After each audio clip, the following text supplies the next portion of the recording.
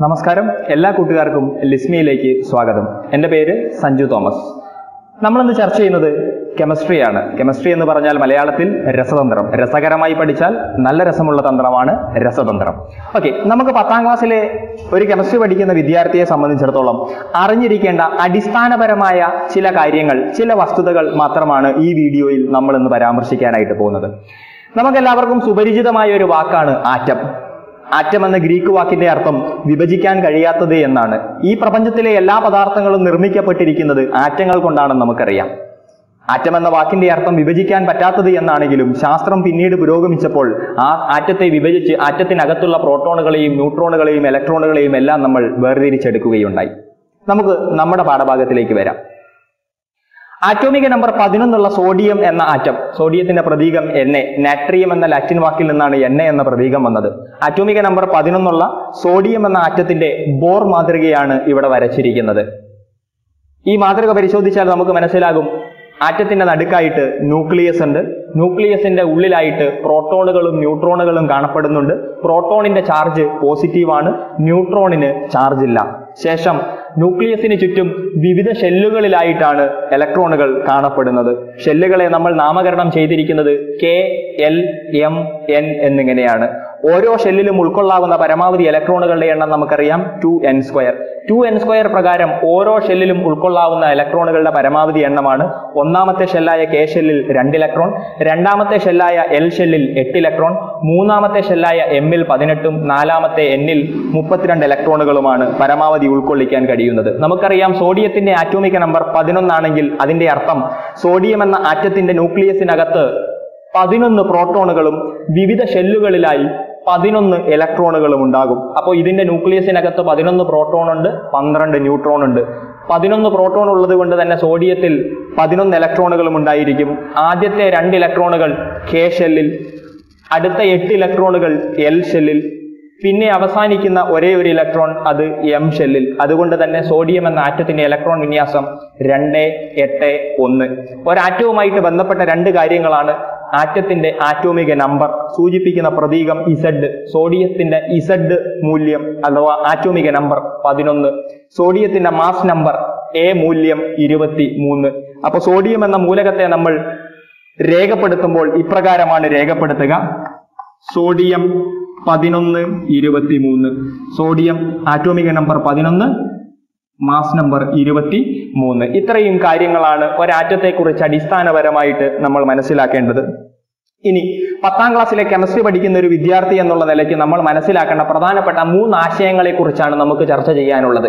അതിൽ ഒന്നാമത്തെ ആശയം എന്താണ് ഇലക്ട്രോൺ നെഗറ്റിവിറ്റി രണ്ട് എന്താണ് അയോണീകരണ ഊർജം മൂന്ന് ഓക്സീകരണം നിരോക്സീകരണം എന്നീ വാക്കുകൾ കൊണ്ട് എന്താണ് അർത്ഥമാക്കുന്നത്? നമുക്ക് ആദ്യത്തേതിലേക്ക് വരാം. ഇലക്ട്രോ നെഗറ്റിവിറ്റി നമുക്കറിയാം ആറ്റങ്ങൾ രാസപ്രവർത്തനത്തിൽ ഏർപ്പെടുമ്പോൾ രാസബന്ധനങ്ങൾ ഉണ്ടാക്കുന്നു. രണ്ട് തരം രാസബന്ധനങ്ങളാണ് പ്രധാനമായിട്ടുമുള്ളത്. ഒന്ന് അയോണിക ബന്ധനം രണ്ട് സഹസംയോജക ബന്ധനം. നമുക്കറിയാം അയോണിക ബന്ധനം എന്ന് പറഞ്ഞാൽ ഇലക്ട്രോണിനെ വിട്ടുകൊടുക്കുമ്പോൾ ഉണ്ടാകുന്ന പോസിറ്റീവ് അയോണുകളും ഇലക്ട്രോണിനെ സ്വീകരിക്കുമ്പോൾ ഉണ്ടാകുന്ന നെഗറ്റീവ് അയോണുകളും വിവിധ വ്യത്യസ്ത ചാർജുകളുള്ള അയോണുകൾ പരസ്പരം ആകർഷിച്ച് അടുത്ത് വന്ന് ഒരു ബന്ധനം രൂപപ്പെടുകയാണെങ്കിൽ ഇത്തരത്തിലുള്ള രാസബന്ധനത്തെ പറയുന്ന പേരാണ് അയോണിക ബന്ധനം. ഇനി നമുക്ക് നോക്കാം.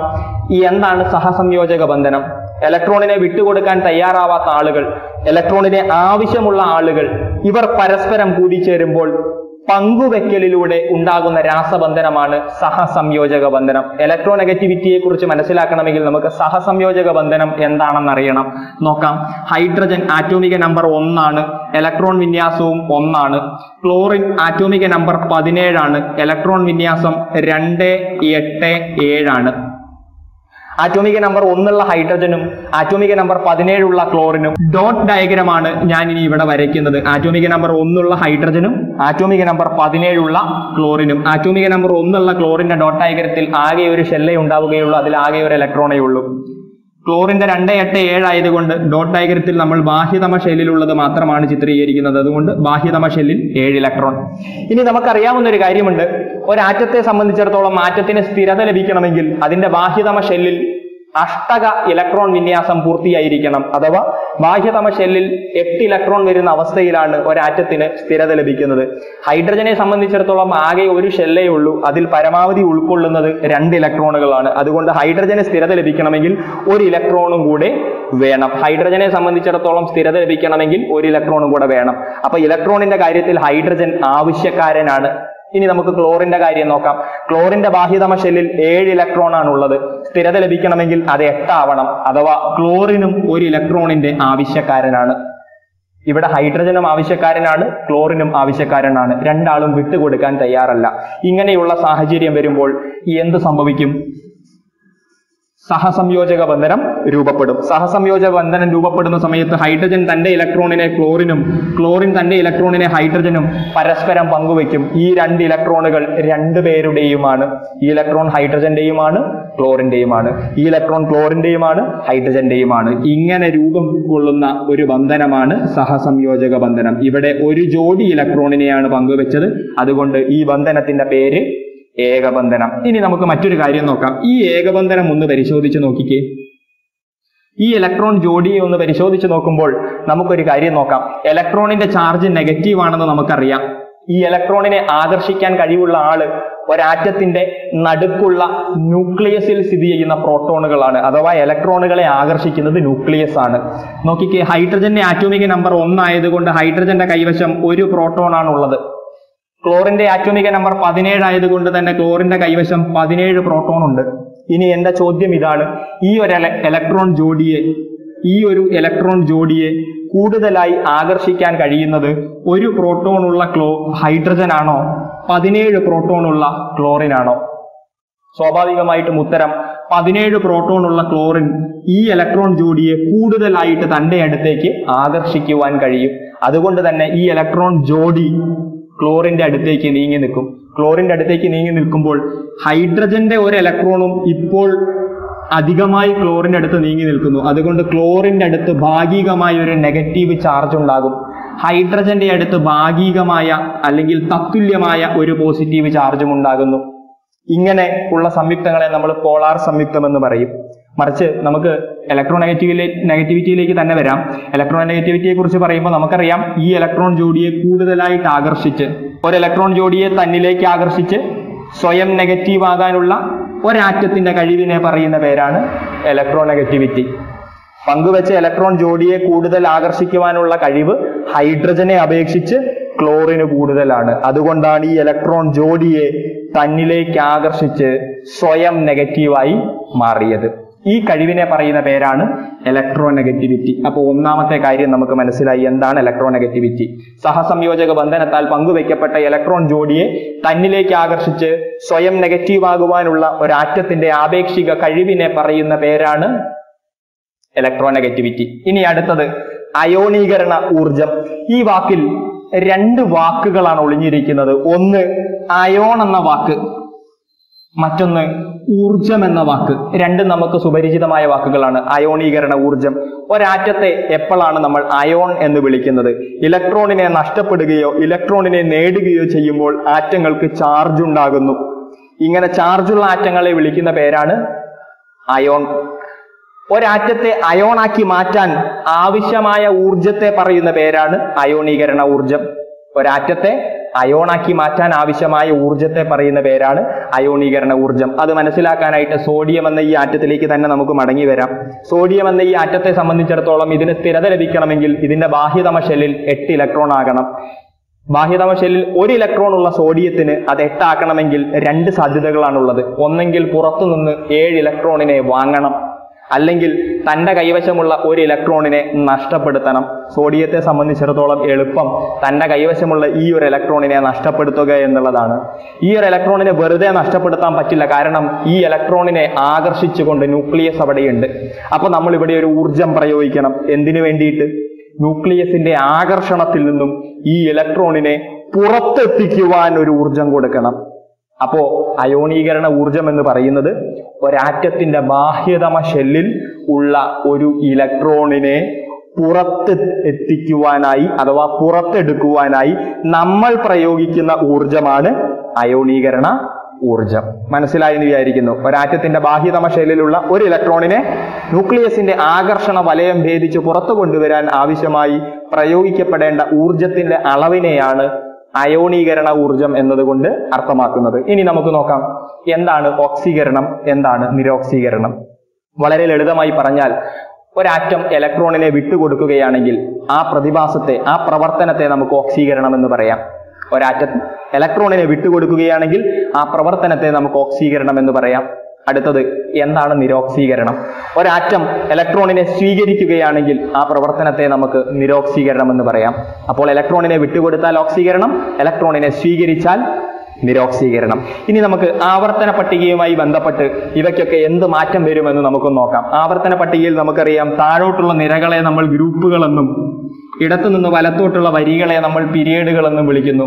ഒരു ഗ്രൂപ്പിൽ താഴോട്ട് വരുമ്പോൾ ഒരു ഗ്രൂപ്പിൽ താഴോട്ട് വരുമ്പോൾ ഒന്നാമത്തെ ഗ്രൂപ്പിൽ ഒന്നാമത്തെ പിരീഡ് ഒന്നാമത്തെ ഗ്രൂപ്പിൽ രണ്ടാമത്തെ പിരീഡ് ഒന്നാമത്തെ ഗ്രൂപ്പിൽ മൂന്നാമത്തെ പിരീഡ് അങ്ങനെ ഏഴ് പിരീഡുകളാണുള്ളത് ഓരോ പിരീഡിലും താഴേക്ക് വരും തോറും ഒന്നാമത്തെ പിരീഡിൽ ഒരു ഷെല്ലേ ഉണ്ടാവുള്ളൂ. രണ്ടാമത്തെ ഗ്രൂപ്പ് പിരീഡിൽ രണ്ട് ഷെല്ലുണ്ടായിരിക്കും മൂന്നാമത്തെ പിരീഡിൽ മൂന്ന് ഷെല്ലുണ്ടായിരിക്കും നാലാമത്തെ പിരീഡിൽ നാല് ഷെല്ലുണ്ടായിരിക്കും അഥവാ ഓരോ പീരിയഡിലും എത്രാമത്തെ പീരിയഡ് ആണോ അത്രയും ഷെല്ല് ആ ആറ്റത്തിൽ ഉണ്ടായിരിക്കും. അഥവാ ഒരു ഗ്രൂപ്പിൽ താഴോട്ട് വരുന്തോറും പീരിയഡിന് മാറ്റം സംഭവിക്കുന്നുണ്ട്. ഒരു പീരിയഡിൽ ഇടത്തു നിന്ന് വലത്തോട്ട് പോകുമ്പോൾ ഗ്രൂപ്പിന് മാറ്റം സംഭവിക്കുന്നുണ്ട്. നമ്മൾ സഞ്ചരിക്കുന്നത് ഒരേ ഗ്രൂപ്പിലാണെങ്കിൽ പീരിയഡ് മാറിക്കൊണ്ടിരിക്കും. നമ്മൾ സഞ്ചരിക്കുന്നത് ഒരേ പീരിയഡിലാണെങ്കിൽ ഗ്രൂപ്പ് മാറിക്കൊണ്ടിരിക്കും. ഓക്കെ. ഇനി ഒരു ഗ്രൂപ്പിൽ താഴോട്ട് വരുന്നു. അഥവാ പീരിയഡ് മാറിക്കൊണ്ടിരിക്കുന്നു. ഓരോ പിരീഡ് മാറിക്കൊണ്ടിരിക്കുന്ന സമയത്ത് ഓരോ ഷെല്ലുകൾ അധികമായി ഒരാറ്റത്തിലേക്ക് കൂട്ടിച്ചേർക്കപ്പെടും. അപ്പോൾ ആദ്യത്തെ ആറ്റത്തെ സംബന്ധിച്ചിടത്തോളം രണ്ടാമത്തെ ആറ്റം വലുതായിരിക്കും. ഒന്നാമത്തെ പീരിയഡിൽ ഒരു ഷെല്ലേ ഉള്ളൂ എങ്കിൽ രണ്ടാമത്തെ പീരിയഡിൽ എത്തുമ്പോൾ അത് രണ്ട് ഷെല്ലായിരിക്കും മൂന്നാമത്തെ പീരിയഡിൽ എത്തുമ്പോൾ അത് മൂന്ന് ഷെല്ലായിരിക്കും നാലാമത്തെ പീരിയഡിൽ എത്തുമ്പോൾ അത് നാല് ഷെല്ലായിരിക്കും ഇങ്ങനെ ഒരു ഗ്രൂപ്പിൽ മുകളിൽ നിന്ന് താഴോട്ട് വരുമ്പോൾ ആറ്റത്തിന്റെ വലിപ്പം വർദ്ധിച്ചു വർദ്ധിച്ചു വരുന്നു. ഇനി അടുത്തത് ഏതെങ്കിലും ഒരു പീരിയഡിലാണ് നമ്മൾ സഞ്ചരിക്കുന്നതെങ്കിൽ ഒരു പീരിയഡിലാണ് നമ്മൾ സഞ്ചരിക്കുന്നതെങ്കിൽ ഗ്രൂപ്പ് മാറിക്കൊണ്ടിരിക്കും. ഗ്രൂപ്പ് മാറുന്ന സമയത്ത് ഷെല്ലുകളുടെ എണ്ണത്തിൽ വ്യത്യാസം ഉണ്ടാകുന്നില്ല മറിച്ച് ഉള്ള ഷെല്ലിലെ ഇലക്ട്രോണുകളുടെ എണ്ണത്തിലാണ് വ്യത്യാസം ഉണ്ടാകുന്നത് അഥവാ ഇലക്ട്രോണുകളുടെ എണ്ണത്തിൽ വ്യത്യാസം ഉണ്ടാകുമ്പോൾ സ്വാഭാവികമായിട്ടും പ്രോട്ടോണുകളുടെ എണ്ണത്തിലും വ്യത്യാസം ഉണ്ടാകും അപ്പോൾ ആകർഷണ ബലം വർദ്ധിച്ചു വർദ്ധിച്ചു വരും. അഥവാ ഒരു ന്യൂക്ലിയസിനകത്തുള്ള പ്രോട്ടോണുകളുടെയും അതിനു ചുറ്റുമുള്ള ഇലക്ട്രോണുകളുടെയും എണ്ണം വർദ്ധിക്കുന്ന സമയത്ത് ന്യൂക്ലിയസ് ഇലക്ട്രോണുകളെ തന്റെ ഉള്ളിലേക്ക് പിടിച്ചാകർഷിക്കുകയും ആറ്റം ക്രമേണ ചെറുതായി വരികയും ചെയ്യുന്നു. ഇത്രയുമാണ് ഇതിലുള്ള കാര്യങ്ങൾ. ഇനി ഇലക്ട്രോനെഗറ്റിവിറ്റിയും അയോണീകരണ ഊർജവും ഗ്രൂപ്പിലും പിരീഡിലും എങ്ങനെ വ്യത്യാസപ്പെട്ടിരിക്കുന്നു? ഒരു ഗ്രൂപ്പിൽ മുകളിൽ നിന്ന് താഴേക്ക് വരുമ്പോൾ ആറ്റത്തിന്റെ വലുപ്പം കൂടുന്നു. ആറ്റത്തിന്റെ വലുപ്പം കൂടുകയാണെങ്കിൽ ന്യൂക്ലിയസും ബാഹ്യതമ ഷെല്ലും തമ്മിലുള്ള ദൂരം വർദ്ധിച്ചു വർദ്ധിച്ചു വരുന്നു. ന്യൂക്ലിയസും ബാഹ്യതമ ഷെല്ലും തമ്മിലുള്ള ദൂരം വർദ്ധിച്ചു വർദ്ധിച്ചു വരികയാണെങ്കിൽ ആകർഷണ ബലം കുറയുന്നു. ആകർഷണ ബലം കുറയുകയാണെങ്കിൽ പുറത്തുള്ള ഒരു ഇലക്ട്രോണിനെ പുറത്തെത്തിക്കാൻ ബാഹ്യതമ ഷെല്ലിലുള്ള ഒരു ഇലക്ട്രോണിനെ പുറത്ത് ചാടിക്കുവാൻ വളരെ എളുപ്പമായിരിക്കും. ഏതിനെ അപേക്ഷിച്ച്? മുകളിലുള്ള ഒരു ആറ്റത്തെ അപേക്ഷിച്ച്. മുകളിലുള്ള ആറ്റം ന്യൂക്ലിയസുമായിട്ട് വളരെ അടുത്തായിരിക്കും ബാഹ്യതമ ഷെല്ല് അപ്പോൾ ഈ ഒരു ഇലക്ട്രോണിനെ പുറത്ത് ചാടിക്കണമെങ്കിൽ ഒരുപാട് ഊർജം പ്രയോഗിക്കണം. മുകളിൽ നിന്ന് താഴ്ന്നു വരുന്തോറും ആറ്റത്തിന്റെ വലിപ്പം കൂടി കൂടി വരുന്നു. ആകർഷണ ബലം കുറഞ്ഞു കുറഞ്ഞു വരുന്നു. ഇലക്ട്രോണിനെ പുറത്തെത്തിക്കുവാൻ വളരെ എളുപ്പമാണ്. അഥവാ കുറഞ്ഞ ഊർജം മതി. അഥവാ മുകളിൽ നിന്ന് താഴോട്ട് വരുമ്പം അയോണീകരണ ഊർജം കുറയുന്നു. ഇടത്തുനിന്ന് വലത്തോട്ട് പോകുമ്പോൾ ആറ്റത്തിന്റെ വലുപ്പം കുറയുന്നു. തത്തുല്യമായി അയോണീകരണ ഊർജം കൂടുന്നു. കാരണം ന്യൂക്ലിയസുമായിട്ട് അടുത്തടുത്ത് വരികയാണ്. ന്യൂക്ലിയസുമായിട്ട് അടുത്തടുത്ത് വരുന്ന സമയത്ത് ആകർഷണ ബലം കൂടുതൽ കൂടി കൂടി വരും. അതുകൊണ്ട് തന്നെ അയോണീകരണ ഊർജം ഒരു പീരിയഡിൽ സഞ്ചരിക്കുമ്പോൾ കൂടി വരികയും ഒരു ഗ്രൂപ്പിൽ സഞ്ചരിക്കുമ്പോൾ കുറഞ്ഞു വരികയും ചെയ്യുന്നു. അതേപോലെ തന്നെയാണ് ഇലക്ട്രോ നെഗറ്റിവിറ്റിയും നോക്കാം. ഇലക്ട്രോ നെഗറ്റിവിറ്റി എന്ന് പറഞ്ഞാൽ പങ്കുവെച്ച ഇലക്ട്രോൺ ജോഡിയെ തന്നിലേക്ക് ആകർഷിക്കുവാനുള്ള കഴിവാണ്. അകലത്തിൽ നിൽക്കുന്ന ഒരു ഇലക്ട്രോണിനെ ആകർഷിക്കുവാൻ കഴിവ് കുറവായിരിക്കും. അഥവാ മുകളിൽ നിന്ന് താഴോട്ട് വരുമ്പോൾ ആറ്റത്തിന്റെ വലുപ്പം കൂടുന്നു ആകർഷിക്കുവാനുള്ള കഴിവ് കുറയുന്നു ഇലക്ട്രോ നെഗറ്റിവിറ്റിയും കുറയുന്നു. പീരിയഡിൽ ഇടത്ത് നിന്ന് വലത്തോട്ട് പോകുമ്പോൾ ആറ്റത്തിന്റെ വലുപ്പം കുറയുന്നു ആകർഷണ ബലം കൂടുന്നു ആകർഷിക്കുവാനുള്ള കഴിവ് കൂടുന്നു ഇലക്ട്രോ നെഗറ്റിവിറ്റിയും കൂടുന്നു. നമുക്ക് ചുരുക്കി ഇങ്ങനെ പറയാം.